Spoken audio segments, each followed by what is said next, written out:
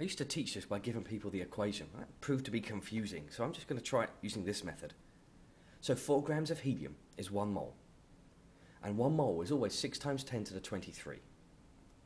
Just like a dozen's always 12, a pair's always 2, and a gross is always 144, a mole is always 6 times 10 to the 23. It's just a number. So 8 grams of helium, well that's twice as many moles and twice as many atoms. So I've actually doubled the mass, and I'm going to do that to the other two as well. Whatever you do to one, you have to do to all of them.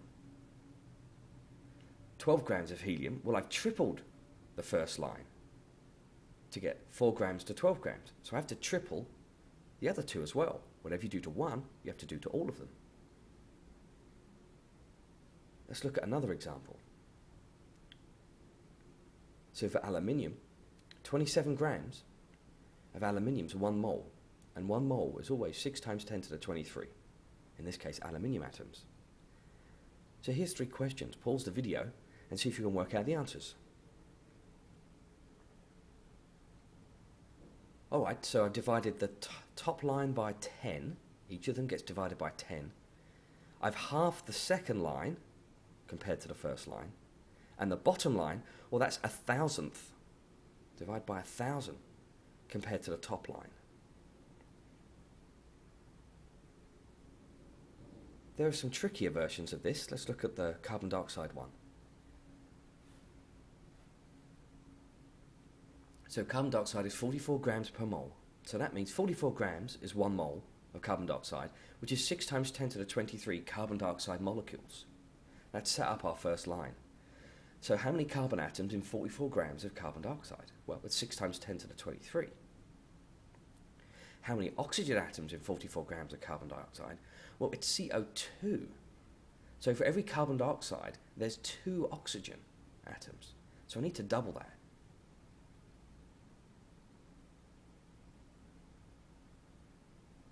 Other things the IB want you to know?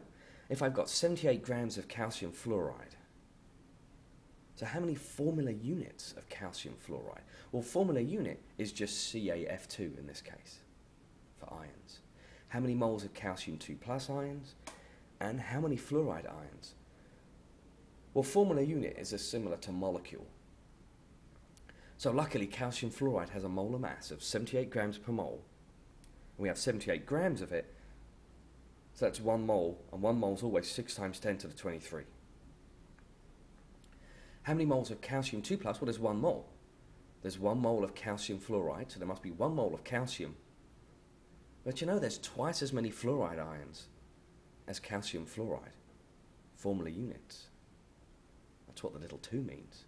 So I have to double that number. Okay, how many electrons in 12 grams of carbon 12? Well, 12 grams per mole. I've got one mole of carbon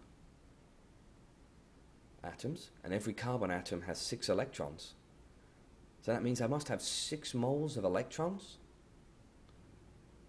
which is 3.6 times 10 to the 24 electrons. And I like this one. What's the mass of one whatever atom? In this case, uranium 238. So writing out the equation like we've been used to, I've got to divide the atoms by 6 times 10 to the 23, and that gives me one atom. Oh, great. Let's divide the other two numbers by 6 times 10 to the 23.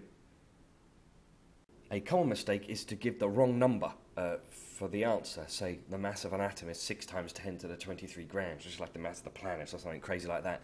Make sure you get the right number uh, for the right answer.